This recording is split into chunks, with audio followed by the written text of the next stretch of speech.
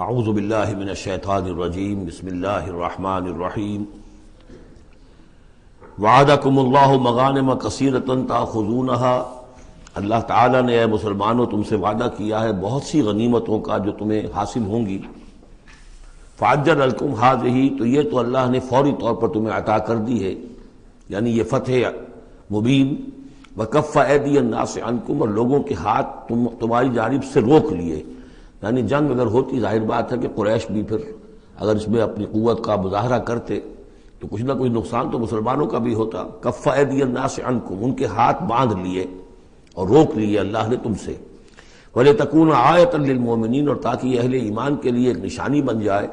وہ یہ دیا کم سراتم مستقیمہ اور اللہ تعالیٰ اب تمہیں سیدھی راہ پر جو ہے گامزن کر دے یعنی تمہاری جد و جہد کو، اجتماعی جو جد و جہد ہے تمہاری اسے براہ راست تیر کی طرح سیدھا اب اس کے آخری ہدف اور منزل مقصود تک پہنچا دے۔ وہ اخرا لم تقدر علیہ اور کچھ اور بھی فتحیں ہیں جن کا ابھی تک تمہیں جس پر قدرت حاصل نہیں ہوئی ہے۔ قد احاط اللہ بہا اللہ تعالیٰ ان کا بھی احاطہ کیے ہوئے ہیں۔ یعنی یہ کہ اس کے فوراً بعد تمہیں ایک فتح ملے گی جو کہ خیبر کی ہوگی۔ کیونکہ یہ اس جو رکو ہم نے دوسرا پڑھائے ہیں، تیسرا اس سے پہلے نازل ہوا ہے۔ اور یہ کہ پھر فتح مکہ ہونے والی ہے، اللہ تعالیٰ نے یہ تمام فتوحات جو اللہ کے تو علم میں ہے اللہ کے نے ان کا احاطہ کیا ہوا ہے۔ وکال اللہ علیہ کل شعین قدیرہ اللہ ہر چیز پر قادر ہے۔ لو قاتل الزین کفر الب الادبار اور اگر یہ کافر یعنی قریش مکہ تم سے جنگ کرتے، تو لازمن پیٹ پھر پیٹ پیٹ دکھا دیتے پیٹ پھیر جاتے۔ سما لا جدون ولی ولا نصیرہ اور پھر نہ پاتے اپنے لیے کوئی حمایتی، کوئی مددگار۔ وہ سنت اللہ قد خلق من قبل، یہ اللہ کی وہ سنت ہے، اس کا دستور ہے، اس کا قانون ہے کہ جو پہلے سے چلا آ رہا ہے۔ یعنی یہ کہ اللہ تعالیٰ اپنے رسولوں کی مدد کرتا ہے۔ تو اب رسول کے ساتھ اگر وہ جنگ پر آمادہ ہو گئے ہوتے، تو یقیناً ان کو پیٹ دکھانی پڑتی اور شکست ان کا مقدر بنتی۔ سنت سنت اللہ قد خلط من قبل۔ ولن تجر سنت اللہ تبدیلا، اور نہیں پاؤ گے تم اللہ کی سنت اور اللہ کے دستور میں کوئی تبدیلی۔ وہ الدی کف ایدیم انکم و ایدیا کم ان بے بطن مکہ وہی ہے جس نے روک لیے ان کے ہاتھ تمہاری طرف بڑھنے سے اور تمہارے ہاتھ ان کی طرف بڑھنے سے بے بطن مکہ بیچ شہر مکے کے یعنی مکے کی وادی میں اور مکے کے شہر میں اگر یہ جنگ ہوتی اور یہ خوریزی ہوتی ممباد الاسفرا کم علیہم اور یہ اللہ نے روک دیا اس کے بعد کہ اللہ نے تمہیں ان پر فتح دے دی تھی یعنی کہ واقع دل میں قریش شکست کھا چکے تھے۔ وہ سمجھ گئے تھے کہ ہمارے لیے مقابلہ ممکن نہیں ہے، ورنہ وہ صلاح کبھی نہ کرتے۔ ان کے لیے تو یہ چیز گویا کہ بڑی موت سے بھی بڑھ کر جو تھی، بھاری تھی کہ مسلمان جو ہے ان کے ساتھ ہم صلاح کریں، انہیں تسلیم کر لیں اور پھر یہ بھی طے کریں کہ اگلے سال آپ آئیے اور ہم تین دن کے لیے وہ یہ پورا مکہ خالی کر دیں گے۔ آپ یہاں جس طرح چاہے عمرہ کریں۔ یہ یہ شرط بھی اس میں شامل تھی، اگلے سال۔ لیکن اس سال آپ کو جانا پڑے گا۔ ہماری ناک جو اتنی نہ کٹے کہ اسی سال آپ عمرہ کر لیں۔ لیکن یہ ہے کہ بہرحال آئندہ آپ آئیں گے۔ تو اس کے بعد کہ اللہ نے انہیں تمہارے تمہیں ان پر فتح دے دی تھی۔ بکان اللہ بما تعملون بصیرہ اور جو کچھ تم کر رہے ہو اللہ اسے دیکھ رہا ہے۔ ہم الزین کفرو وسدو ان مسجد الحرام۔ وہی لوگ ہیں۔ یعنی ان کے جرائم کا تذکرہ ہو رہا ہے جنہوں نے کفر کیا۔ تو اور تمہیں روکے رکھا مسجد حرام تک جانے سے۔ ول حدیہ معقوفن یب لوگا محلہ۔ اور حدی کے جو جانور لے کے گئے تھے مسلمان، احرام کے ساتھ ساتھ وہ حدی کے جانور تھے کہ کعبے کے لیے نیاز کے یہ جانور ہیں۔ وہ رکے ہوئے تھے کہ وہ اپنی اصل جگہ پر یب لوگا محلہ، کہ اس کا اصل مقام تو یہ تھا کہ کعبے جائیں، وہاں پر ان کا چڑھاوا چڑھایا جائے اور ان کی قربانی دی جائے۔ لیکن یہ کہ وہ رکے ہوئے تھے کہ وہاں تک نہیں پہنچ سکتے تھے۔ لیکن یہ اللہ نے کیوں ہاتھ روک لیے؟ ان کے ہاتھ تم سے، تمہارے ہاتھ ان سے کیوں روک لیے؟ جنگ کیوں نہیں ہونے دی؟ اس کی حکمت اب آ رہی ہے۔ لولا رجال المومنون و نساء اگر نہ ہوتے مرد مومن اور عورتیں مومنات، لم تعلموہم جنہیں تم نہیں جانتے تھے۔ ان تتوہم اندیشہ تھا کہ تم انہیں بھی پیس ڈالتے۔ یعنی جب جنگ ہوتی ہے بھٹی گرم ہو جاتی ہے، اس وقت تو تحقیق و تفتیش مشکل ہوتی ہے۔ اب وہ مسلمان کے جو ہجرت نہیں کر سکے، ان میں زوافا بھی تھے، ان میں مریض بھی تھے، ان میں عورتیں بھی تھیں، جن کے لیے ممکن ہی نہیں تھا۔ جیسا کہ ہم سورہ نصاب میں پڑھ چکے ہیں کہ جن کے لیے بالکل ممکن ہی نہیں تھا، اللہ تعالیٰ نے ان کو ان کو معاف کر دیا تھا، ہجرت نہیں کر رہے، تب بھی اللہ ان سے معاوضہ نہیں کرے گا۔ تو اب وہ لوگ بھی موجود تھے مکے کے اندر۔ اب اگر یہ چکی چلتی تو پھر تو یہ پیس ڈالتی ان کو بھی۔ لولا رجال مومنون و نساء مومنات لم تالم تم جانتے ہی نہیں تھے۔ ہو سکتا ہے کہ تم انہیں بھی کچل دیتے۔ فتوسی بکم منہ مار رہا اور ان کے معاملے میں پھر تم پر ایک الزام آ جاتا، بغیر علم۔ اس کے بغیر کہ تمہیں کوئی علم ہو، تمہاری بے خبری میں تم پر الزام آتا کہ ان اہل ایمان نے آ کر اپنے اہل ایمان ساتھیوں کو بھی قتل کر دیا۔ لیکن اللہ فی رحمت ہی اللہ نے اسی لیے روک دیا اس جنگ کو اس وقت اور تمہیں فتح دے دی صلح کی شکل میں۔ تاکہ اللہ تعالیٰ داخل کرے، اللہ تعالیٰ اپنی رحمت میں جس کو چاہے۔ ولو تزین الدین کفر امین مذاب علیمہ اگر وہ علیحدہ ہو چکے ہوتے یعنی مسلمان، اہل ایمان، مرد اور عورتیں جو ہیں، جو ابھی تک مقیم ہیں یہاں پر، اگر وہ یہاں سے نکل چکے ہوتے، علیحدہ ہو چکے ہوتے تو پھر باقی یہاں صرف کفار رہ گئے ہوتے، تو ہم اسی وقت لازم الزین کفر منہم عذاب علیما تو ان کافروں کو ہم ابھی وہ بدترین عذاب کا مدہ چکھا دیتے اس جال الزین کفر فی قلوب حمیت حمیت الجاہلیہ۔ جب کافروں نے اپنے دلوں کے اندر ایک حمیت جو ہے، ایک بڑی غیرت اور حمیت کا معاملہ، لیکن وہ حمیت جاہلی تھی، کہ ہم لوگ، اور کیسے ممکن ہے کہ ہم انہیں یہاں پر عمرہ کرنے دیں؟ یہ لوگ کہ جو بے دین ہو گئے، ان کے اعتبار سے تو بے دین تھے۔ جو ہم اپنے آبا و اجداد کے دین کو چھوڑ گئے، تو وہ جو نسل پرستی اور قوم پرستی ان میں تھی، اور آبا پرستی تھی، اور اپنی روایت پرستی تھی، اس کے بلا پر حمیت جاہلیت ان کے دلوں کے اندر اتنی کوٹ کوٹ کر بھری ہوئی تھی اس جال الزین کفروفی قلوب حمیت حمیت الجاہلیہ انہوں نے حمیت حمیت جاہلی کو اپنے دلوں کے اندر راسک کر لیا تھا۔ فانزل اللہ سکینت علی رسول المومنین تو اللہ تعالیٰ نے اپنی اپنا طرف سے سکون نازل فرما دیا۔ اپنے رسول پر صلی اللہ علیہ وسلم اور اہل ایمان پر۔ وہ الزمہم کلمت تقوا اور اللہ تعالیٰ نے ان پر لازم کر دیا تقوا کی بات کو۔ یعنی اللہ تعالیٰ نے تقوا کو ان پر لازم کر دیا وہ قانو احق کا بہا یقیناً وہ تقوا کے زیادہ حقدار بھی ہیں وہ اہلہا اور واقع تقوا کے اہل ہیں، ان کے اندر تقوا موجود ہے۔ وہ کان اللہ بک الشعین علیمہ اور یقیناً اللہ تعالیٰ ہر چیز کا علم رکھتا ہے۔ لقد صدق اللہ رسول بالحق۔ اب ایک شبے کا اضالہ ہو رہا ہے کہ کچھ لوگوں کو یہ خیال پیدا ہوا ہوگا کہ رسول کا تو خواب بھی سچا ہوتا ہے اور وہی کے درجے میں ہے۔ حضور نے ہمیں فرمایا تھا کہ میں نے خواب دیکھا ہے کہ ہم عمرہ کر رہے ہیں۔ تو چلو۔ اور یہاں ہم عمرہ نہیں کر سکے تو رسول کا خواب جھوٹا ہو گیا۔ یہ اگر شک کسی کے دل میں پیدا ہوا تو اس کو ظاہر کر رہے ہیں کہ رسول کا خواب جھوٹا نہیں ہوا۔ یعنی یہ کہ اس میں جب حضور سے پوچھا بھی گیا، آپ نے تو فرمایا تھا کہ ہم عمرہ کریں گے۔ تو آپ نے فرمایا تھا، یہ میں نے کب کہا تھا کہ اسی سال ضرور کریں گے، عمرہ کریں گے۔ تو اگلے سال وہ عمرہ ہوا۔ سن سات میں اسے عمرہ قضا کہتے ہیں۔ جو صلح حدیبیہ میں طے ہو گیا تھا کہ اگلے سال آپ آئیے عمرہ کیجیے تو عمرہ قضا جو ہے، یہ یہ عمرہ چونکہ رہ گیا تھا، درمیان میں ہی بند ہو گیا، تو عمرہ قضا اس عمرے کی قضا اگلے سال جو ہے سن سات میں آپ نے دی۔ اور تین دن تک قریش نے مکے کو خالی کر دیا، پہاڑوں پر چڑھ گئے، اور مسلمان تین دن تک مکے کے اندر مقیم رہے، انہوں نے اپنے اطمینان سے عمرہ ادا کیا۔ تو فرمایا، لقد صدق اللہ رسول بالحق، اللہ نے بالکل سچا دکھایا خواب اپنے اپنے رسول کو۔ اس میں قتل کسی جھوٹ کا شائبہ نہیں۔ لطن خلن المسجد الحرام ان شاء اللہ عامنین محلقین، رؤوسکم ومقصرین لا تخافون۔ تم اے مسلمانوں لازمن داخل ہوگے مسجد حرام میں انشاءاللہ پورے امن کے ساتھ۔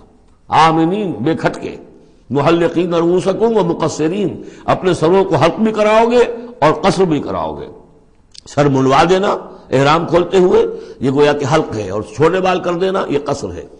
تو محلقین رؤوسکم ومقصرین، لا تخافون اور تمہیں کوئی اندیشہ نہیں ہوگا۔ یعنی جو ہو گیا اگلے سال کہ بالکل مکہ خالی، کوئی اندیشہ نہیں، کوئی مٹ بھیڑ نہیں، کسی طرف سے کوئی تانا نہیں، کوئی کوئی بری بات بھی سننے میں نہیں آئی اور وہ سب لوگ جو ہے وہ رہے اپنے پہاڑوں کے اوپر۔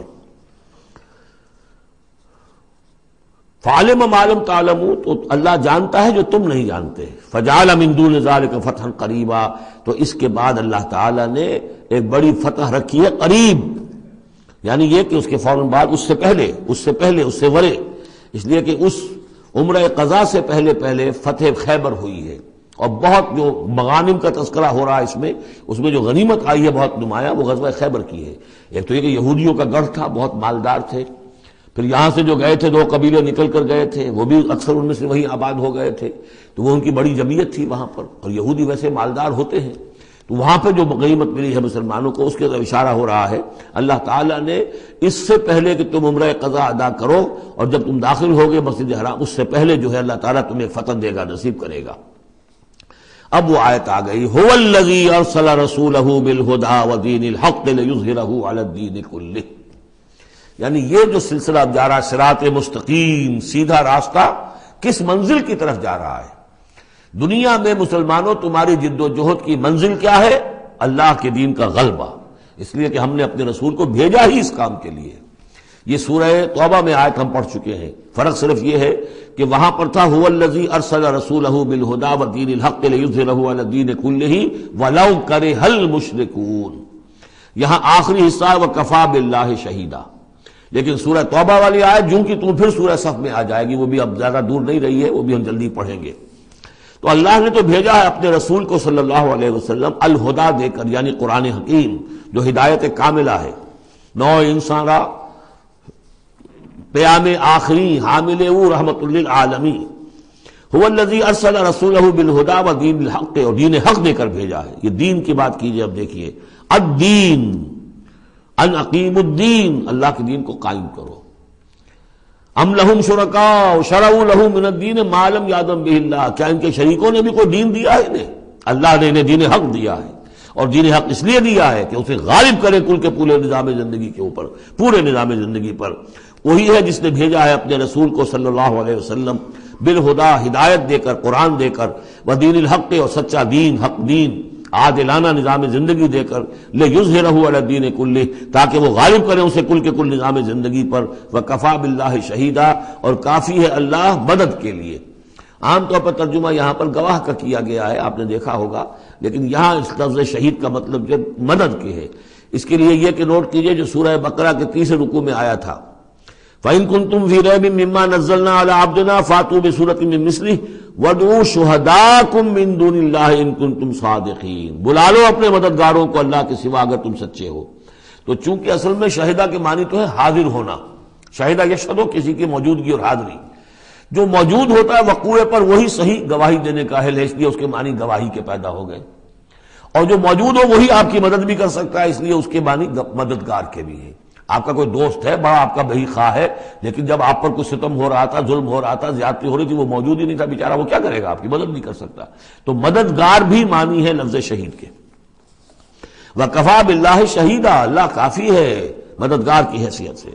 محمد الرسول اللہ والذین ماہو یہ وہ جماعت ہے جو اس بیت کی بنیاد پر وجود میں آئی ہے۔ نوٹ کر لیجیے اس بات کو۔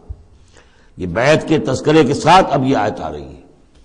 محمد الرسول اللہ صلی اللہ علیہ وسلم ایک بیعت تو وہ لیتے تھے کہ جو کوئی ایمان لاتا تھا ایمان کی بیعت۔ لیکن جو آپ نے اہل مکہ سے کبھی نہیں لی۔ بلکہ وہاں تو جس نے بھی کہہ دیا اشد اللہ الہ الا اللہ وشد اللہ محمد رسول اللہ، کوئی فارمل ڈیکلریشن کوئی اور اس کے لیے کوئی سمبولک کوئی اقدام نہیں تھا۔ اللہ یہ کہ کوئی باہر سے آتا تھا تو بیعت ہوتی تھی۔ اس کے بعد آپ نے بیعت مکے میں دو لی ہیں، بیعت اقبہ اولا، بیعت اقبہ ثانیہ۔ اور بیعت اقبہ ثانیہ کی بیعت وہ ہے کہ جس سے اب وہ ایک جماعتی شکل بنی ہے۔ اس لیے کہ اس کے الفاظ کیا ہیں؟ متفق علیہ روایت ہے یہ، بخاری اور مسلم دونوں میں۔ عرابی اس کے حضرت عبادہ ابن ثابت ہے رضی اللہ تعالیٰ عنہ۔ وہ بیعت کیا تھی؟ بایانا رسول اللہ صلی اللہ علیہ وسلم السمع والطاعت فی العسر والیسر والمنشط والمکرہ وعلى اثرت علینا وعلى لا ننازل امر اہلہ وعلى نقول بالحق اینما کلنا لا نخاف باللہ لومت الائن ہم نے بیعت کی تھی اللہ کے رسول سے کہ آپ کا ہر حکم سنیں گے اور مانیں گے، اطاعت کریں گے۔ فی العسر والیسر، خواہ مشکل ہو اور خواہ آسانی ہو۔ والمنشط والمکر رہے خواہ ہماری طبیعت آمادہ ہو، خواہ ہمیں اپنی طبیعتوں پر جبر کرنا پڑے۔ بالا اثرت علینا خواہ ہم پر دوسروں کو ترجیح دی جائے۔ ہم کبھی نہیں کہیں گے کہ ہم آپ کے پرانے ساتھی ہیں، آپ نے بالکل ایک نو وارد کو ہمارے اوپر امیر کیسے مقرر کر دیا؟ نہیں۔ اٹس یور پریروگیٹو یہ آپ کا اختیار ہوگا، جس کو آپ چاہیں امیر بنائیں۔ والا اللہ ناظر امراہ رہو جنہیں آپ والی امر بنا دیں گے، امیر بنا دیں گے، ان سے بھی ہم جھگڑیں گے نہیں، ان سے ان سے تعاون کریں گے، ان کی اطاعت کریں گے۔ جیسے کہ ایک اور حدیث میں حضور نے فرمایا، من اطانی فقط اطا اللہ وہ من آسانی فقط اللہ۔ جس نے میری اطاعت کی، اس نے اللہ کی اطاعت کی، اور جس نے میری نافرمانی کی، اس نے اللہ کی نافرمانی کی۔ وہ من امیری فقط اطانی جس نے میرے مقرر کردہ امیر کی اطاعت کی، اس نے میری اطاعت کی۔ ومن عطا امیری فقط ومن آسا امیری فقط آسانی جس نے میرے مقرر کردہ امیر کی نافرمانی کی، اس نے میری نافرمانی کی۔ اب ظاہر بات ہے، جب جماعتی زندگی ہوتی ہے تو ایک ہی امیر نہیں ہوتا۔ اب ایک فوج ہے، ایک سپہ سالار ہے، لیکن اور چھوٹے چھوٹے جو اس کے حصے ہیں میمنا پر کوئی اور ہے میسرا پر کوئی اور ہے اب قلب پر کوئی اور ہے، چھوٹے چھوٹے کمانڈرز بھی تو ہیں۔ چھوٹی سی کمپنی ہے، پلاٹون ہے پھر بٹالین ہے بٹالین سے اوپر ریجیمنٹ ہے۔ ہر جگہ پر جو ہے اس کے جو آفیسرز موجود ہیں جو کمانڈرز موجود ہیں ان سب کا سلسلے وار سب و تعت کا نظام اگر نہیں ہوگا تو وہ فوج کہاں ہوئی؟ اس طرح ایک جماعت ہے ایک پورے ملک کے اندر جماعت ہے اس کا امیر ہے پھر اس کے کئی صوبائی اس کی شاخیں اس کے امیر ہیں۔ تو یہ تو نظام اس طرح چلے گا۔ تو یہاں پر والا نقولہ بالحق ہے نما کرنا اور آخری بات جو تھی اس اس, اس, اس بیت کے اندر کہ ہم جہاں کہیں بھی ہوں گے حق بات ضرور کہیں گے۔ مشورہ مانگا جائے گا، مشورہ دیں گے۔ We will not hold back over opinions ہم اپنی رائے دیں گے۔ حق بات کہیں گے جہاں کہیں ہوں گے۔ لیکن اس کے بعد جو فیصلہ ہوگا فیضا آزاب الامر جیسا کہ ہم پڑھ چکے ہیں۔ جب فیصلہ ہو جائے، تو پھر یہ کہ اللہ اور اس کے رسول کی اطاعت لازم ہے۔ تو فرمایا، یہ محمد الرسول اللہ والذین ماہو کی جو جماعت بنی ہے، اس شکل میں، اس قتال کے مرحلے کے شروع ہونے سے پہلے، منہج انقلاب نبوی میں اقدام کا مرحلہ جب آیا ہے پیسو ریزسٹنس جب ایکٹیو ریزسٹنس میں چینج ہو رہی ہے، تو اب وہ ایک نظم جماعت کی شکل ہے اور وہ بیت اقبا ثانیہ کی بنیاد پر وجود میں آیا۔ محمد رسول اللہ والذین معاہو اشداء والکفار رحماء بینہم۔ اللہ کے رسول، یہ اس میں دو طرح ترجمے اس کے کیے جاتے ہیں۔ محمد اللہ کے رسول ہیں، یہ ایک جملہ پورا ہو گیا۔ والذین معاہو اشداء والکفار رحماء بینہم، اور جو ان کے ساتھ ہیں، وہ وہ کافروں پر بہت بھاری ہیں اور آپس میں بہت مہم دل ہیں۔ اور ایک ترجمہ یہ بھی ہے کہ محمد الرسول اللہ والذین معاہو یہ سب مل کر مبتدا بنی۔ اللہ کے رسول محمد اور جو ان کے ساتھ ہیں، ان سب کی شان یہ ہے کہ اشداء الکفار رحماء بینہم، وہ کفار کے حق میں بڑے سخت ہیں، لیکن آپس میں بہت رحم رحم دل ہے رحیم ہے شفیق ہے یہ ہم پڑھ چکے ہیں سورہ معاہدہ میں بھی۔ عزلۃ علی المومنین عزت علی الکافرین۔ اہل ایمان کے حق میں وہ بہت ہی نرم خو۔ ہو حلقہ یارہ تو بریشم کی طرح نرم۔ رزم حق و باطل ہو تو فولاد ہے مومن۔ یہ شان جو ہے بندہ مومن کی قرآن مجید میں دو جگہ آئی ہے۔ تراہم رکان سجد یا فضل من اللہ و رضوانہ تم دیکھو گے ان کو، کبھی سجدے میں گرے ہوئے ہوں گے اور کبھی رکوع کر رہے ہوں گے۔ وہ اپنے رب کے فضل کے متلاشی رہتے ہیں، ہر دم، ہر آن اور اللہ کے رضا چاہتے ہیں۔ سیماہم فی وجوہ نثر سجود اور ان کی جو نشانی ہے، وہ ان کے چہروں میں جو جو اثرات پیدا ہوتے ہیں سجدے سے۔ سجدے سے عام طور پر تو خیال یہ ہوتا ہے کہ یہی جو گھٹا پڑ جاتا ہے، یہی سجدے کا نشان ہے۔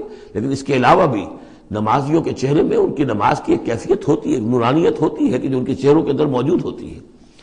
ظالے کا مسل ہوں پھر تورا یہ ہے ان کی مثال اور تنصیل جو تورات میں آئی تھی۔ وہ مسل ہوں پھر انجیل اور انجیل میں جو ان کی مثال دی گئی تھی، وہ یہ ہے کہ زر نخرج شتا جیسے ایک کھیتی، وہ اپنا پٹھا نکالتی ہے فاضر پھر اسے گاڑھا کرتی ہے۔ فستغلدہ اور فستوا اس کو مضبوط کرتی ہے پھر اسے گاڑھا کرتی ہے؟ فستوا سوکی پھر اپنی نال پر کھڑی ہو جاتی ہے۔ چھوٹی سی کوئی کوپل پھوٹتی ہے، پھر وہ بڑھتی ہے، نرم سی ہے، پھر ذرا اس کا جو تلا بنتا ہے، اس کے اوپر پھر کھڑی ہو جاتی ہے سیدھی۔ یہ جس طریقے سے درجہ بدرجہ یہ جو زراعت ہو رہی ہے، یہ کھیتی ہو رہی ہے، اس کا نتیجہ کیا نکلتا ہے؟ یو جب جو زراعت کرنے والا ہے جو کاشتکار ہے، اسے بڑی بھلی لگتی ہے۔ آیا، آج دیکھا، اپنی کھیتی کو اپچ آئی ہے، نکل آئی ہے۔ اس کے بعد یہ کیا بڑھ رہی ہے، پک رہی ہے۔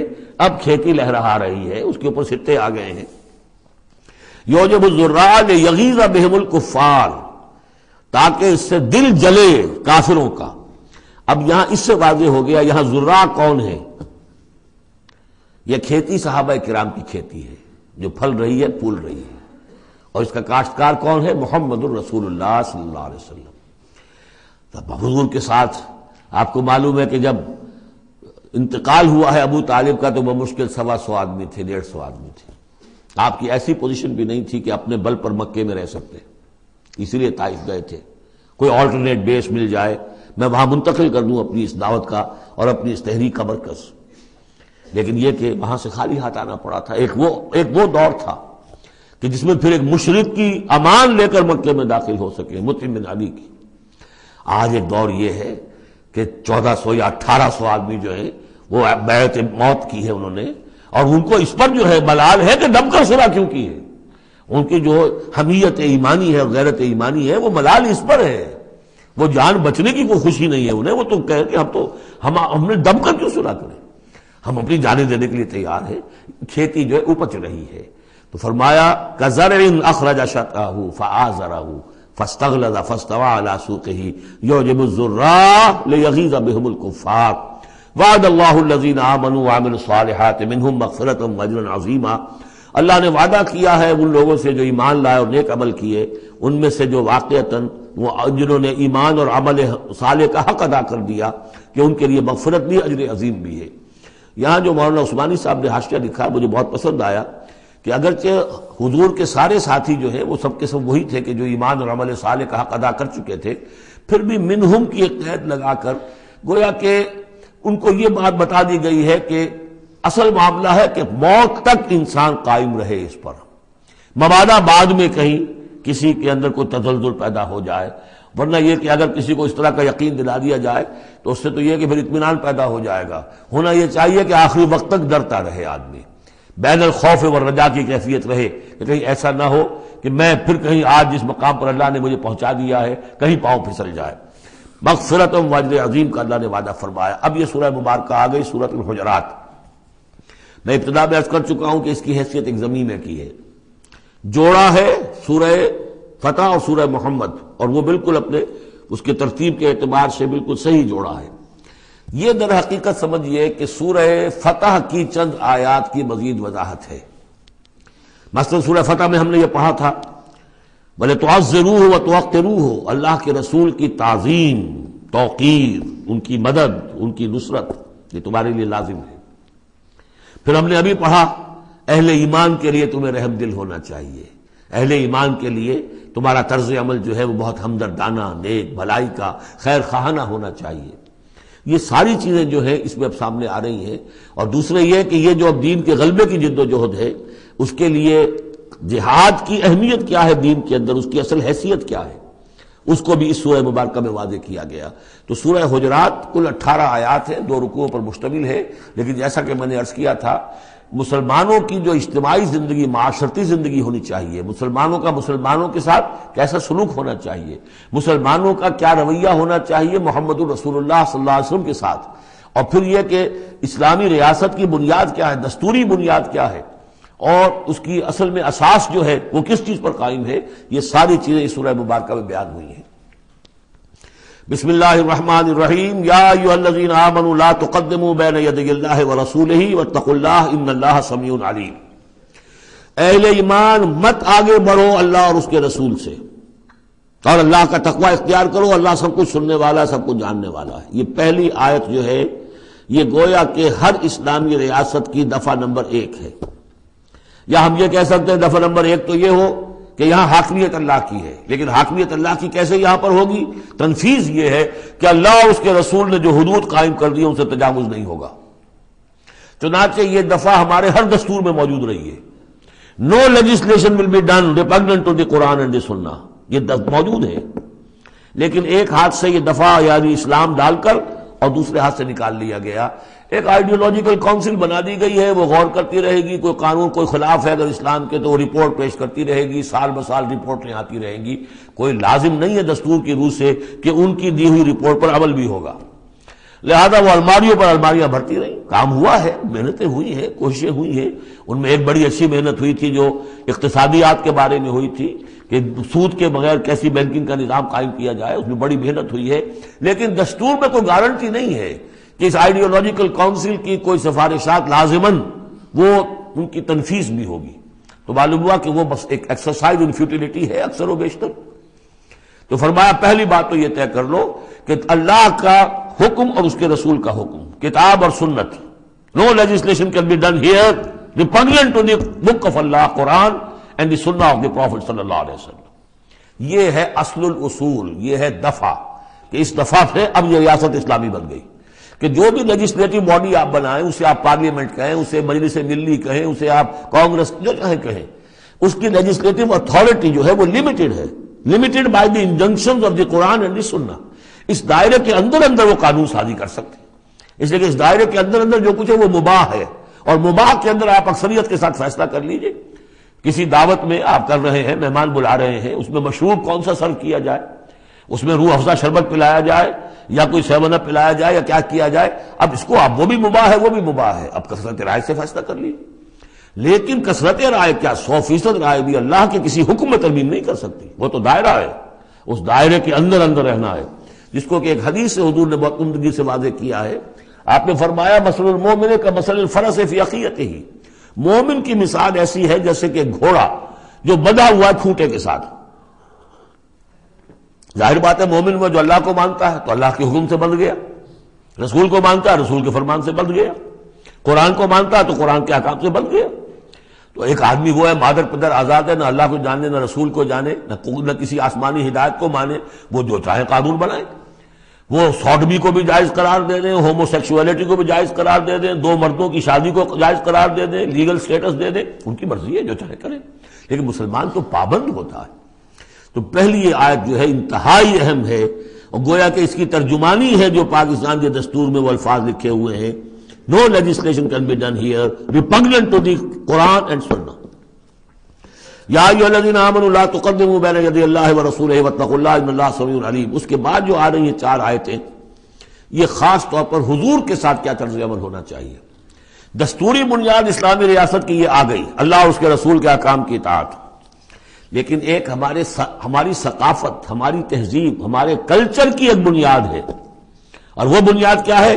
حضور کی تعظیم، حضور سے محمد، محبت، حضور کے نقش قدم کی پیروی۔ آپ کے سرتابی نہ کرنا، آپ کے آواز کے مقابلے میں اپنی آواز بلند نہ کرنا۔ اب یہ آرام یہ ہے وہ توقع روح ہو وہ تو روح ہو وہ تو روح ہو۔ یہ گویا کہ اس کی شرح ہے۔ یا فوق النبی۔ اہل ایمان، اپنی آواز کبھی بلند نہ کرنا نبی کی آواز پر۔ بلا تجھرو بالقول کجہر لبعض۔ اور جس طرح تم آپس میں بلند آواز سے ایک دوسرے سے بات کر لیتے ہو، ایسی حرکت کوئی نبی کے ساتھ نہ کر بیٹھنا۔ انتہبتا مالکم مبادہ تمہارے سارے اعمال حبت ہو جائیں۔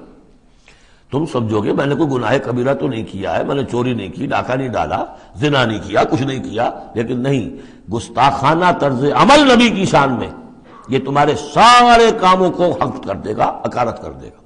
ون تم لاتا شرون تمہیں پتہ بھی نہیں چلے گا۔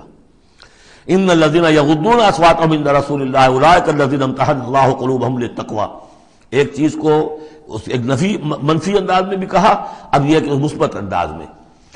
شاباش دینے کے انداز میں۔ بے شک وہ لوگ جو اپنی آوازیں پست رکھتے ہیں رسول اللہ کے سامنے، یہی وہ لوگ ہیں کہ جن کے دلوں کو اللہ نے چن لیا ہے، امتحان کر کے جانچ پرکھ کر چن لیا ہے، اختیار کر لیا ہے تقوا کے لیے۔ اب ان کے دلوں میں اللہ تعالیٰ تقوا زیادہ سے زیادہ پیدا کر دے گا۔ لہو مغفرت عظیم، ان کے لیے مغفرت ہے اور بہت بڑا اجر ہے۔ ان ندین یونادون کبھی ورائے حجرات اکثر یہ بھی ایک سوئے ادب تھا۔ اور یہ ویسے بھی عام معاشرت کے اعتبار سے بھی سوئے ادب ہے۔ وہ لوگ آتے تھے بدو باہر سے، اب حضور کا اپنا، اپنے معمولات تھے، کس وقت آپ کو برآمد ہونا ہے اپنے حجرت سے۔ اور وہ باہر سے کھڑے ہو گئے، یا محمد اخوج علینا، آئیے ذرا باہر تشریف لائیے۔ فرمایا الدین ان الدین یونادون کبھی ورائے حجرات بے شک وہ لوگ جو آپ کو پکار، پکارتے ہیں۔ دیواروں کے پیچھے سے، حجرات کے باہر سے، اکثر ہم لا یاقلون۔ ان میں سے اکثر ہی وہ ہے جو عقل نہیں رکھتے۔ ولاؤ صبر ہوں اگر وہ صبر کرتے حتیٰ تخرج علیہم کہ آپ خود برآمد ہوتے اپنی حجرے سے، تشریف لاتے باہر، لکانا خیر الحم یہ ان کے حق میں بہت بہتر تھا۔ واللہ غفور الرحیم، اللہ غفور اور رحیم ہے۔ یہ انہوں نے جان بوجھ کے گستاخی نہیں کی۔ یہ صرف بدو ہوتے تھے۔ اور ظاہر بات ہے، وہ مہذب لوگ نہیں تھے۔ اس حوالے سے ان کے ہاں جو بھی تھا، اور عرب کا بدو، وہ تو یوں سمجھیے کہ بہت ہی زیادہ ان آداب وغیرہ سے، بہت ناواقع بہت دور۔ تو اس لیے ان کا کہ اگرچہ انہوں نے کی ہے یہ زیادتی، لیکن اللہ غفور ہے اور رحیم ہے، بخشنے والا ہے، آئندہ اس کا یادہ نہ ہو۔ اس کے بعد آٹھ احکام آ رہے ہیں۔ مسلمان معاشرے کو مضبوط اور مربوط رکھنے کے لیے۔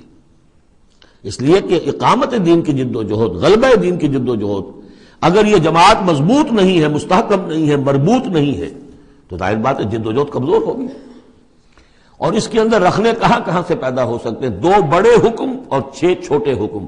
ویسے وہ چھوٹے کس وجہ سے کہہ رہا وہ بھی میں آپ سے عرض کر دوں گا۔ اس لیے کہ وہ ایک ایک آیت میں تین تین جمع کیے۔ اور یہاں پہلے جو دو بڑے حکم آ رہے ہیں، ان کے لیے مستقل آیات نازل ہوئی۔ بڑے آکام میں سے پہلا کیا ہے؟ آئیو لذین آمنوا ان جاکم فاسقم بنبین فتبینوا ان تصیبوا قوما بجہالت فتصبحوا علی ما فعلتم نادمین۔ اہل ایمان، اگر تمہارے پاس کوئی فاسق شخص آئے جو متقی نہیں ہے وہ آئے کوئی بڑی خبر لے کر، اطلاع لے کر فتبینوا تو تحقیق کر لیا کرو۔ اس کے، اس کی خبر پر کوئی اقدام نہ کر گزرنا۔ ہو سکتا ہے وہ غلط بات بتا رہا ہو تمہیں کہ فلاں قبیلہ جو ہے حملے کی تیاری کر رہا ہے، تو تم پہلے اسے پری ایمپٹ کرنے کے لیے فوری طور پہ تم حملہ کر دو۔ نہیں۔ فتح تحقیق کر لیا کرو۔ ان تصیب و قومن میں جہالت مبادہ تم جا پڑو کسی قوم پر نادانی میں۔ حملہ کر بیٹھو کسی قوم کے اوپر، کسی قبیلے کے اوپر نادانی میں۔ فتس میں ہوں علامہ فالتم نادمین اور پھر تمہیں ہونا پڑے جو کچھ کہ تم نے کیا ہو اس پر نادم۔ اس لیے یہ کہ افواہوں پر کوئی اقدام نہ کیا جائے۔ ہاں خبر لانے والا صدیق اکبر ہو رضی اللہ تعالیٰ اور بات دوسری ہے۔ لیکن یہ کہ جو شخص جو ہے قابل اعتماد نہیں ہے اس کا کردار، اس کی زندگی جو ہے اس طرح کی نہیں ہے، تو اس کے بارے میں، اس کی رائے ہوئی کسی خبر پر فوراً کوئی اقدام درست نہیں ہوگا۔ اس کی پوری طرح تحقیق کرو، تفتیش کرو۔ اور ایسا ہی ہوتا ہے اکثر و بیشتر کہ یہ جو افواہوں کے اوپر اقدام کر دیے جاتے ہیں، ان سے بڑے بڑے جھگڑے شروع ہو جاتے ہیں، بڑی بڑی جنگیں شروع ہو جاتی ہیں۔ والم النفیقم رسول اللہ اور دیکھو تمہارے مابین اللہ کے رسول ہیں یہ۔ اس کی کیا مراد ہے؟ یعنی محمد صلی اللہ علیہ وسلم اللہ کے رسول ہیں، لیکن یہ تم میں سے بعض خواتین کے شوہر بھی ہیں، بعض اشخاص کے داماد بھی ہیں، بعض کے خسر بھی ہیں۔ یہ رشتے ہیں کہ نہیں؟ بعض کے بھتیجے بھی ہیں۔ تو اگرچہ ان کے رشتے ہیں، لیکن ازواج کو بھی سمجھنا چاہیے کہ یہ صرف میرے شوہر نہیں، یہ اللہ کے رسول ہیں۔ بڑا فرق ہوگا اگر صرف شوہر سمجھ کر کوئی معاملہ کیا۔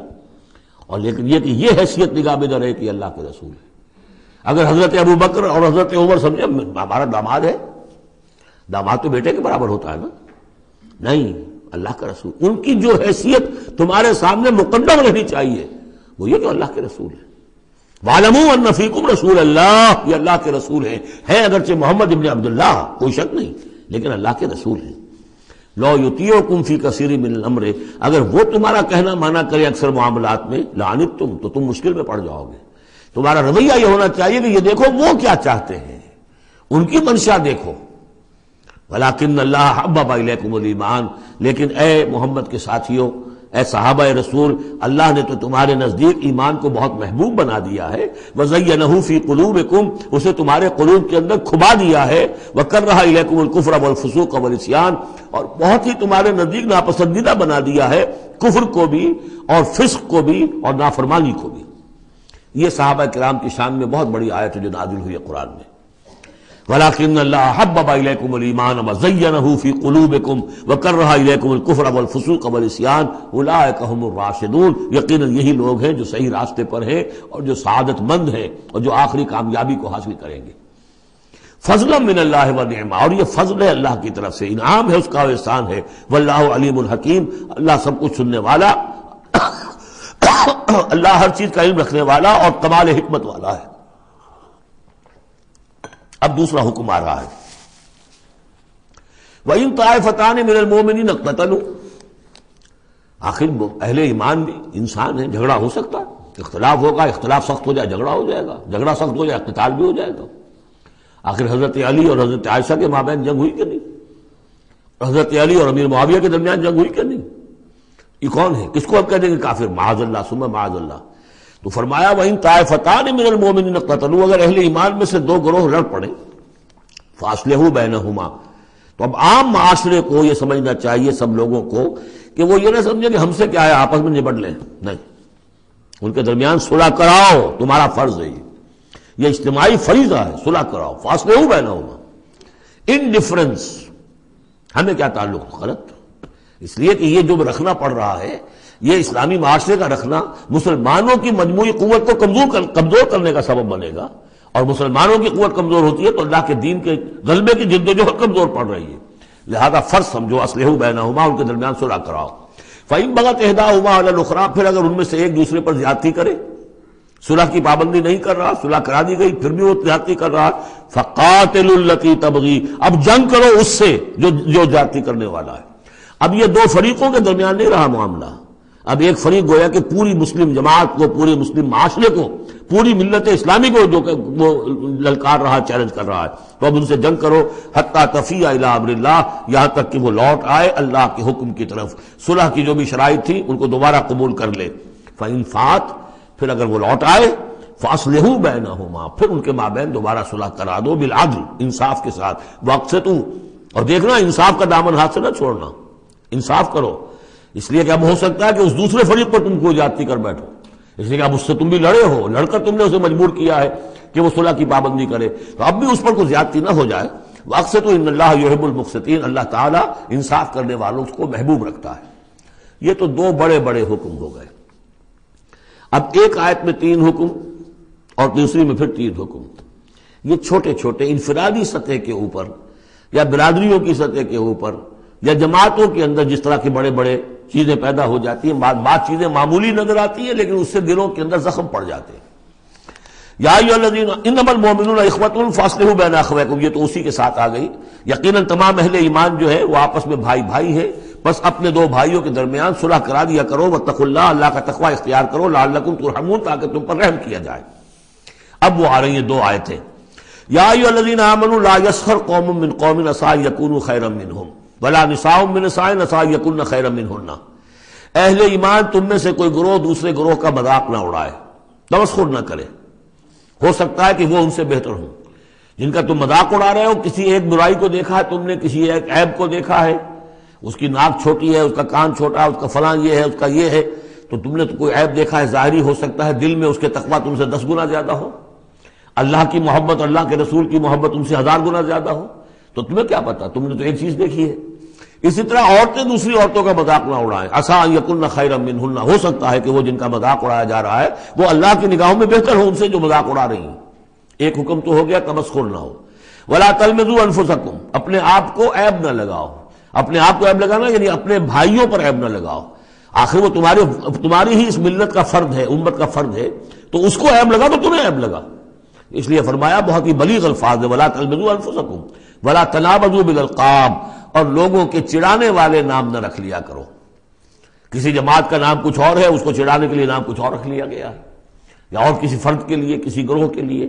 تو یہ جو ہے، ایک دوسرے کے اوپر اس طریقے سے ڈال دینا، اور نام ان کے اوپر کہ جو ان کو پسندیدہ نہیں ہے، یہ تین کام ہو گئے، ایک آیت میں روکا گیا۔ اس کی وجہ سے اکثر ایسا ہوتا ہے کبھی ایک دوست آپ کا، آپ ایک خاص قسم کا مذاق اس سے کر رہے ہیں یا کسی لفظ سے اس کو چھیڑتے ہیں، سو دفعہ وہ سن لیتا ہے، کوئی اثر نہیں ہوتا، کسی وقت کوئی عجیب کیفیت ہوتی ہے اس کی کہ اس کے دل میں جا کر زخم کی طرح لگ جاتا ہے اور پھر وہ دل کا رشتہ ٹوٹ جاتا ہے۔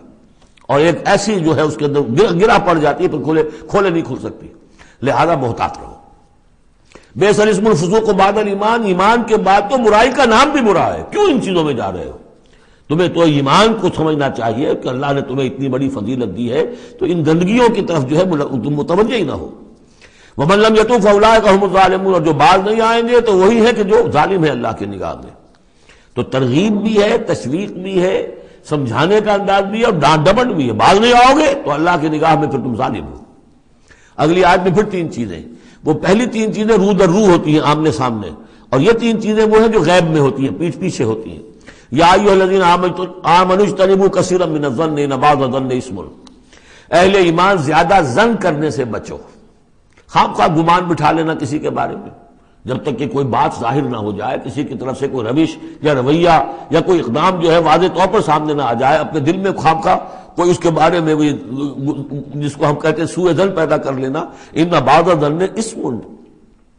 بعض زن جو ہے وہ تو گناہ کے درجے تک پہنچ جائیں گے، اس لیے کہ تم نے اپنے دل میں بات بٹھا لی ہے، حالانکہ اس میں وہ شے ہے ہی نہیں۔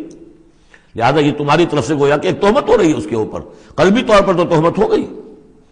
ولا تجسس اور دوسری بات یہ ہے کہ ایک دوسرے کے حالات کی ٹوہ میں نہ رہو۔ بہرحال اسلامی ریاست ہوگی تو جاسوسی کا ایک محکمہ بھی ہوگا، وہ تو اپنی جگہ پر ہے، لیکن افراد کی سطح پر خام خواہ۔ فلاں اس گھر میں کیا ہو رہا ہے؟ کیوں ہو رہا ہے؟ یہ دونوں بھائیوں کے معاملات کیا ہیں؟ کیا وجہ لڑائی کیوں نہیں ہوتی ان میں؟ کچھ لوگوں کی ہوتی تلاش میں رہتے ایسی چیزوں کی۔ بلا تجسس ہو تجسس مت کرو۔ بلا یک تب باز حکم بازا اور تم میں سے کوئی دوسرے کی غیبت نہ کرے۔ کسی کے پیٹ پیچھے غیر موجودگی میں اس کی کوئی برائی نہ بیان کرے۔ چاہے وہ برائی بالفعل اس میں ہو۔ حضور سے پوچھا گیا کہ حضور اگر وہ برائی اس میں ہو، آپ نے فرمایا تبھی تو غیبت ہے۔ اگر برائی ہے نہیں تو تہمت ہو گئی۔ وہ تو غیبت سے دوڑا جرم ہو گیا۔ لیکن یہی ہے کہ کسی مسلمان بھائی کی غیر موجودگی میں اس کی کوئی برائی بیان نہ کی جائے۔ میتن، کیا تم میں سے کوئی شخص اسے پسند کرے گا کہ وہ اپنے کسی مردہ بھائی کا گوشت کھائے؟ کرے تم یہ تو تمہیں بہت برا لگا، بہت گھن آیا۔ یہ کیا بات کہہ دی اللہ تعالیٰ نے؟ کوئی شخص چاہے گا یہ کہ اپنے مردہ بھائی کا گوشت کھائے؟ لیکن یہ اخلاقی سطح پر یہی کام تم کرتے ہو۔ غیبت جو ہے اخلاقی سطح پر یہی ہے۔ کیوں؟ کہ جو شخص موجود نہیں ہے، آپ اس کی عزت پر حملہ کر رہے ہیں۔ اگر وہ موجود ہوتا، اپنا دفاع کرتا۔ لیکن موجود نہیں، دفاع نہیں کر سکتا۔ وضاحت کرتا، آپ کو غلط بات سمجھ میں آئی، آپ نے ٹھیک نہیں سمجھا ہے آپ کو اطلاع صحیح نہیں ملی ہے۔ آپ سو طرح سے اپنی حفاظت کرتا ہے اپنی عزت کی۔ اور چونکہ موجود نہیں ہے، آپ نے جیسے مردہ بھائی کی لاش پڑی ہے، جیسے چاہو موٹی جو ہے، کاٹ لو۔ لیکن اگر وہ زندہ ہو تو تمہیں قریب آنے دے گا۔ یہی ہے مثال۔ اللہ طواب الرحیم اللہ کا تقوی اختیار کرو۔ اللہ طواب ہے، توبہ کا بہت قبول فرمانے والا اور رحیم ہے، بہت رحم فرمانے والا۔ تیسرا حصہ اس سورہ مبارکہ کا جو آ رہا ہے، یہ عظیم ترین مضامین پر مشتمل ہے۔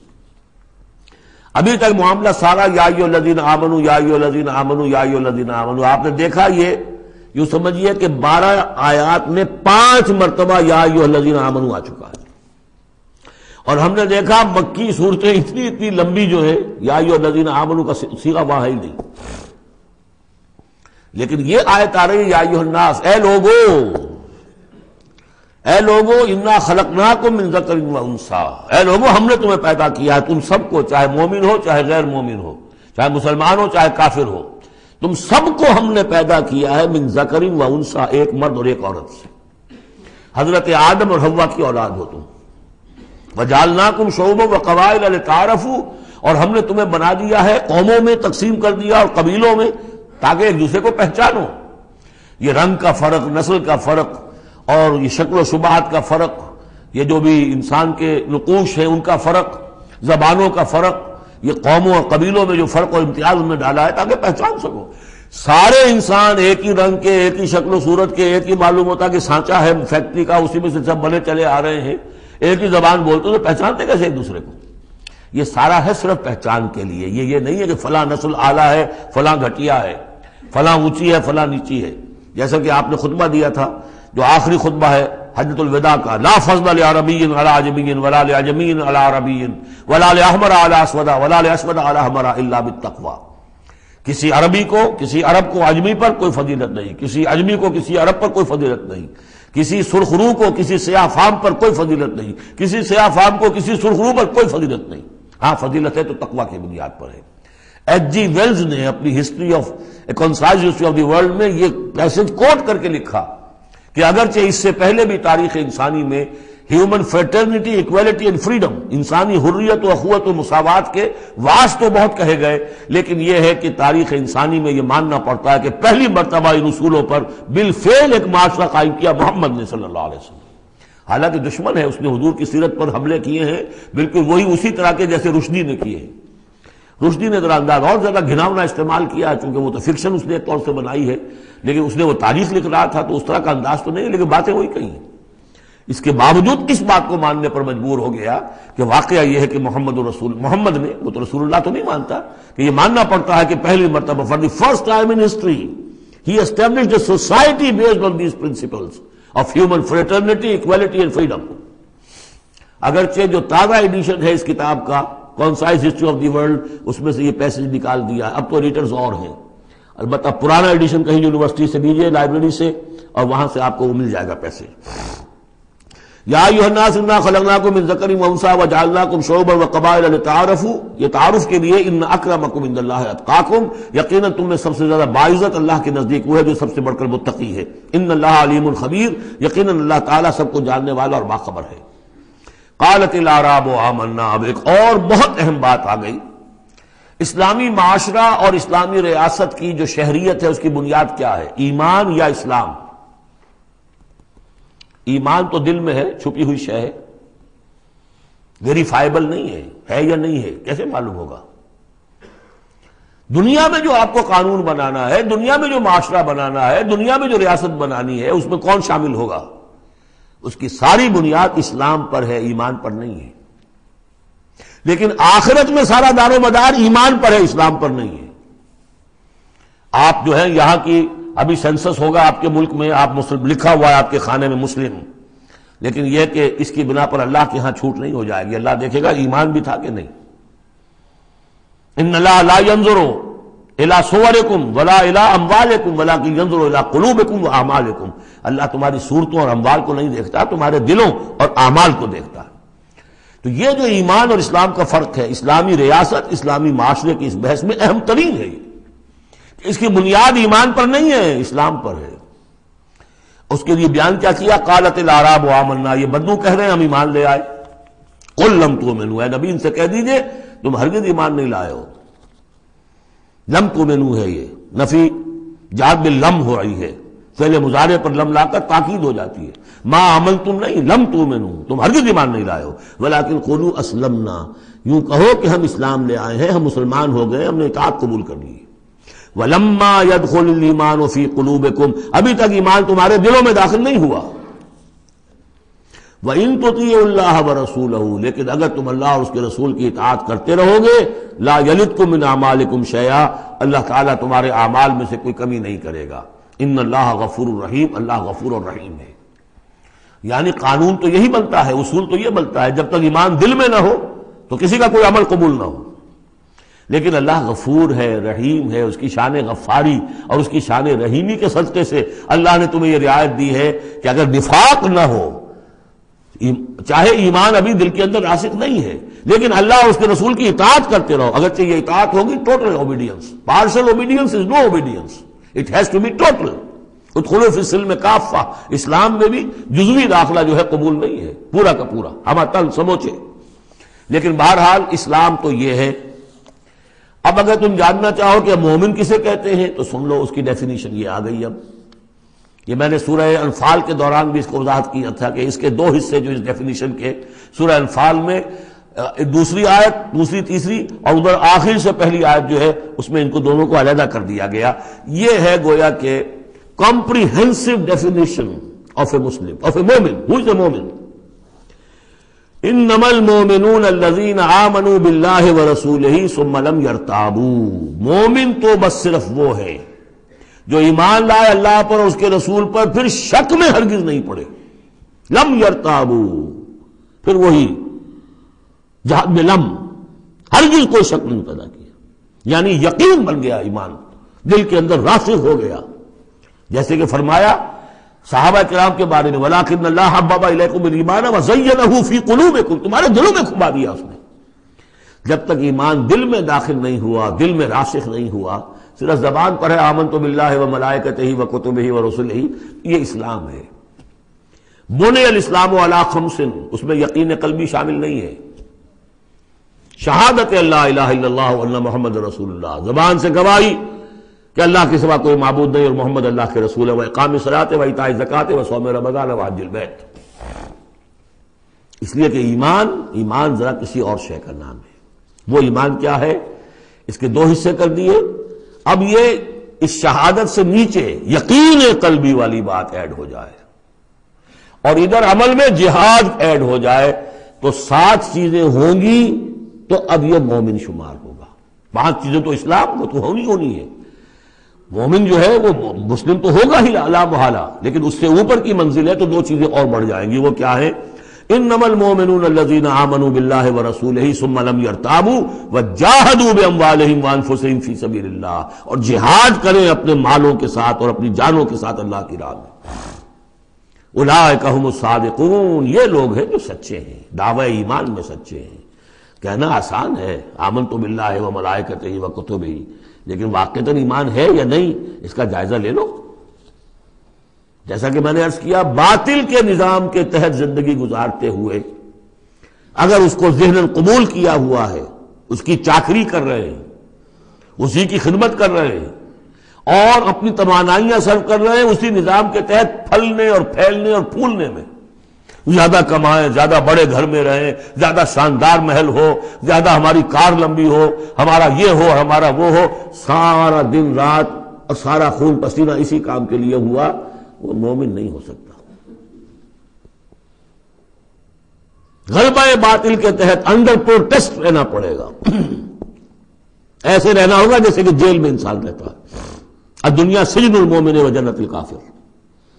اور یہ کہ اپنی توانائی میں سے منیمم سبسسٹنس لیول پر جو آپ کے وجود کو برقرار رکھنے کے لیے ناگزیر ہو، اس حد تک تو اپنے وقت اور توانائی اور اپنی قوت اور صلاحیت میں لگائے آپ اپنے اور اپنے اہل و عیال کی ضروریات پوری کرنے کے لیے۔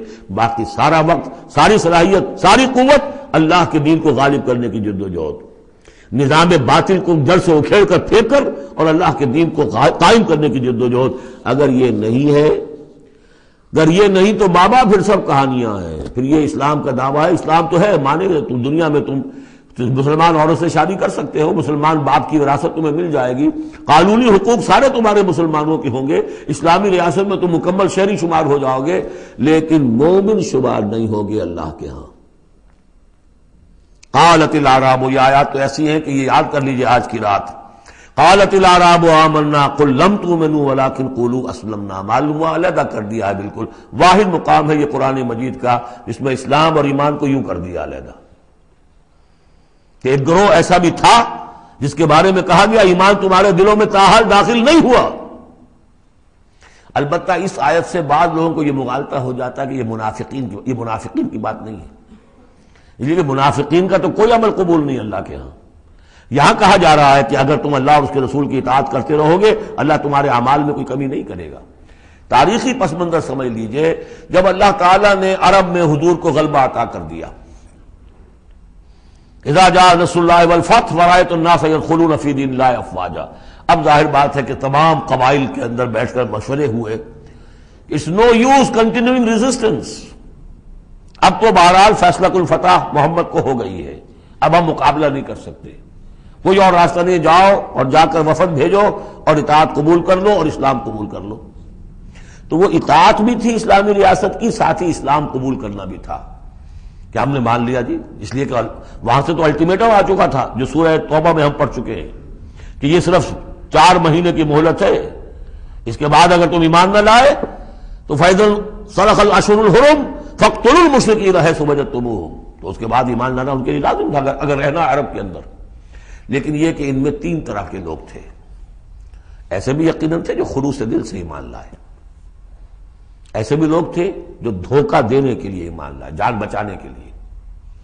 یہ دو ہو گئی ویلیوز پازیٹو اور نیگیٹو بیچ میں پازیٹو اور نیگیٹو کے مابین ایک زیرو لیول آتا ہے۔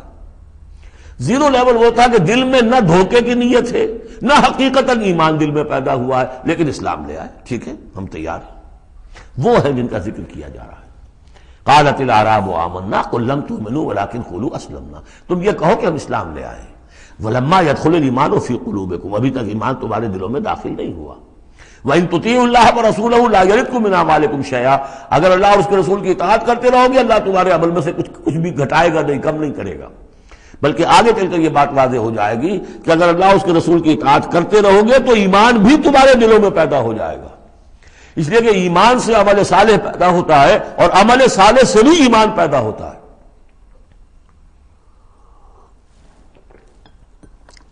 لیکن اگر تم جاننا چاہو اور دل میں یہ امنگ پیدا ہو جائے، اللہ کرے کہ ہم میں سے ہر شخص کے دل میں یہ آج ارادہ اور امنگ پیدا ہو جائے۔ اور یہ وہ آرزو پیدا ہو جائے جس کے اوپر علامہ اقبال نے جو کہا ہے کہ آرزو اول تو پیدا ہو نہیں سکتی، کہیں اور ہو جائے تو مر جاتی ہے یا رہتی ہے خام۔ یہ آرزو کہ مجھے مومن رہنا ہے، جینا ہے، مرنا ہے۔ یہ آرزو اول تو پیدا مشکل سے ہوتی ہے اور ہو جائے تو معاشرہ اس کو غذا نہیں دیتا۔ ہر چار طرف سے اس کے خلاف آپ پر دباؤ پڑنا شروع۔ دماغ خراب ہو گیا، پاگل ہو گیا فیریٹک ہے۔ یہ اپنا کیریئر چھوڑ رہا ہے، یہ اپنا کاروبار برباد کر رہا ہے، وہ فلاں یہ کر رہا ہے۔ تو ماحول جو ہے، ماحول میں آکسیجن نہ ہو تو پودا کیسے پروان چڑھے گا؟ تو اس لیے بہت مشکل کام ہے۔ اللہ یہ کہ خلوص نیت اور عزم مسمم ہو تو اللہ تعالیٰ کی طرف سے خصوصی توفیق اور تحصیل ہوتی ہے۔ تو آج آپ اس کو سامنے رکھ کر دل میں یہ آرزو لے کر اٹھیے کہ یہ ایمان اس اس ڈیفینیشن پر ہمیں پورے اترنا ہے۔ وہ ڈیفینیشن کیا ہے؟ ان نمل مومنون الزین آمن بلّہ و رسول ہی سملم یرتابو و جاہدو باموالہم فی سبیل اللہ اولئک هم الصادقون۔ اس آیت کے شروع اور آخر دونوں میں اسلوب حسر ہے۔ مومن صرف وہ ہیں جو ایمان لائے اللہ پر اس کے رسول پر پھر شک میں ہرگز نہیں پڑے۔ ان کے دل میں اس ایمان نے یقین کی شکل اختیار کر لی۔ اور پھر انہوں نے جہاد کیا اللہ کی راہ میں کھپائے اس میں اپنے مال بھی، اپنی جانیں بھی۔ یہی لوگ حقیقت میں سچے ہیں اپنے دعوی ایمان میں۔ اللہ ربنا جعلنا منہم۔ اللہ ربنا جعلنا منہم۔ یہی صادقون ہیں جن کے بارے میں سورہ توبہ میں ہم آیت پڑھ کر آئے ہیں۔ کونو مع صادقین صادقین کے ساتھ ہو جاؤ۔ تلاش کرو کوئی صادقین ہے دنیا میں اس وقت کے نہیں۔ اور حضور نے یہ خبر دی ہے۔ لا تدال فی امتی طائفت قائمین علی الحق۔ میری امت میں ہمیشہ ایک گروہ ضرور موجود رہے گا جو حق پر قائم ہوگا۔ تلاش کرو اور تلاش کر کے کونو مع صادقین، ان میں شامل ہو۔ ان کے ساتھ شامل ہو جاؤ۔ ان کے دست و بازو بنو۔ ظاہر بات ہے، جمعیت کے بغیر، جماعت کے بغیر وہ اقامت دین کیسے ہوگی؟ وہ اظہار و دین الحق کے دین کل ہی کیسے ہوگا؟ محمد رسول اللہ والذین ماں وہ حزب اللہ بن گئے تھے، تبھی تو دین قائم ہوا نا۔ اب وہ ساری کیفیات جو سورہ حجرات میں آئیں۔ قل اللہ بدینکم۔ اب یہ نوٹ کر لیجیے، جن لوگوں کے دلوں میں وہ ایمان نہیں تھا، وہ اسلام لانے پر حضور پر اپنے احسان جتایا کرے۔ حضور دیکھیے، ہم تو لڑے بھڑے بغیر اسلام لے آئے، تو ہمارا تو حق زیادہ ہونا چاہیے۔ وہ ہماری ہریانے کی زبان میں یہ کہاوت ہے، تھوتھا چنا باجے گھنا۔ وہ وہ چنا جو اندر سے کھوکھلا ہو چکا ہو، اس کی آواز زیادہ ہوتی ہے۔ برتن خالی ہوگا تو آواز کھن کھنانے کی آتی ہے، برتن کے اندر پانی پڑا ہوا ہو تو پھر اس طرح کی آواز نہیں آتی۔ تو ایمان سے خالی تھے، اس لیے وہ اپنی ایمان کے دعوے ذرا زیادہ کرتے تھے۔ کل اطوالمون اللہ دین کم تم اپنے دین کا جو اس طرح سے بڑھ چڑھ کر باتیں کرتے ہو، تو اللہ کا بتانا چاہتے ہو، جتلانا چاہتے ہو اپنا دین۔ وہ اللہ معافی سماوات و معافی الارض۔ اگر تمہیں ایمان حاصل ہوتا تو تم یہ جانتے کہ اللہ تو جانتا ہے جو کچھ کے آسمانوں میں اور زمین میں ہے۔ ایک بندہ مومن کے لیے تو یہ کہنے کی ضرورت ہی نہیں۔ واللہ بکل شعین علیم۔ اللہ تو ہر چیز کا علم رکھتا ہے۔ یمنون علیہ کا نسلم۔ ہے نبی، یہ آپ پر احسان دھر رہے ہیں کہ ہم اسلام لے آئے۔ اللہ تمن علیہ اسلام کو میں نبی سے کہہ دیجیے، مجھ پر اپنے اسلام کا کوئی احسان مت دھرو۔ بل اللہ یمن علیکم۔ کیونکہ اللہ تم پر احسان دھرتا ہے۔ انہدا کم ایمان ان کن تم صادقین، کہ اس نے تمہیں ایمان کے راستے پر ڈال دیا ہے، اگر تم سچے ہو۔ جب اسلام پر آ گئے ہو تو ایمان کے راستے پر چڑھ گئے ہو۔ اگر سچے ہو گے تو اب ایمان تمہارے اندر پیدا ہو جائے گا۔ اطاعت رسول کرتے رہو گے اطاعت اللہ، الہی کرتے رہو گے نمازیں پڑھو گے روزے رکھو گے زکوٰۃ دو گے خوش دلی کے ساتھ۔ تو ان اعمال کی بدولت، ان کی نورانیت تمہارے قلوب کے اندر اترے گی۔ اور اس سے تمہارے اندر ایمان پیدا ہو جائے گا۔ دیکھیے، یہاں لفظ اسلام آیا تھا پھر۔ یمنون علیہ کا نسلم یہ آپ پر احسان دھر رہے ہیں کہ وہ اسلام لے آئے۔ اللہ تمن علیہ اسلام نبی کہہ دیجیے مجھ پر اپنے اسلام کا احسان مت دھرو۔ بل اللہ یمن علیکم، بلکہ یہ تو اللہ تم پر احسان دھر رہا ہے۔ انہداکم للایمان کہ یہ جو تمہیں اسلام لانے کی توفیق دے دی اس نے، تو اس نے گویا کہ ایمان کی سڑک پر ڈال دیا، تمہیں اس راستے پر ڈال دیا ہے کہ جو ایمان تک لے جائے گی۔ ان کن تم صادقین، اگر تم اپنے اسلام میں صادق ہو۔ ہاں اسلام منافقانہ لائے ہو تو بات اور ہے۔ دل میں عداوت ہے، دشمنی ہے، صرف جان بچانے کے لیے اگر نیت یہی ہے، تو پھر تو ظاہر بات ہے کہ نہ اسلام ہے اور نہ ایمان ہے۔ اگرچہ قانون اور پھر بھی مسلمان مانے جائیں گے۔ منافقین بھی آخری وقت تک مسلمان مانے گئے۔ منافقین جو ہے یہاں تک کہ رئیس المنافقین عبداللہ ابن ابئی کی نماز جنازہ حضور نے پڑھائی ہے۔ یہ تو غزوہ تبوک کے بعد ہوا، پھر کہ منافقین کو ننگا بھی کیا گیا۔ اور مسجد جو انہوں نے بنائی تھی، مسجد جنار وہ گرا بھی دی گئی۔ وہ سب کچھ ہوا، بعد میں ہوا، پہلے نہیں۔ غزوہ تبوک تک کا معاملہ یہ تھا کہ پردہ پڑا ہوا تھا۔ بل اللہ یمن علیکم انہداکم ایمان ان کنتم صادقین ان اللہ یعلم غیب السماوات والارض یقیناً اللہ تعالیٰ جانتا ہے آسمانوں اور زمین کی تمام چھپی ہوئی چیزیں، غائب اور غیب اللہ کے علم میں ہے، واللہ بصیر بما تعملون۔ اور جو کچھ تم کر رہے ہو، اللہ اسے دیکھ رہا ہے۔ بارک اللہ لی ولکم فی القرآن العظیم و نفعنی و ایاکم بالآیات و ذکر الحکیم۔